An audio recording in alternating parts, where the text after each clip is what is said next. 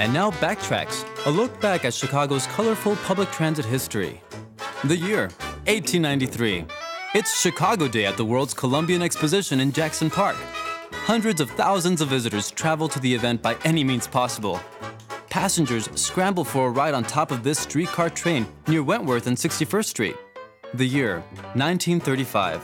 For many years, Chicago's largest shopping district outside of the Loop was 63rd Street in Halsted in Englewood. A Pullman built streetcar filled with holiday shoppers stops southbound on its way to 79th Street.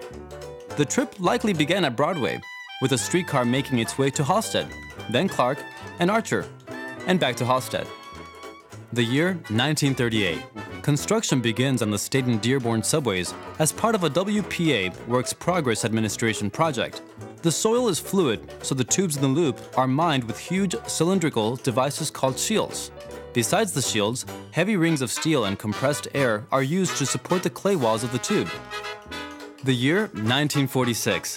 Chicago's first articulated bus is a demonstrator built by Twin Coach. In 1948, it is converted to a trolley coach with seats for 58 passengers. It is dubbed the Queen Mary, and it's almost as difficult to maneuver as its namesake because the rear wheels have no turning capacity of their own. That's it for this edition of Backtracks. Now, let's get back to the present.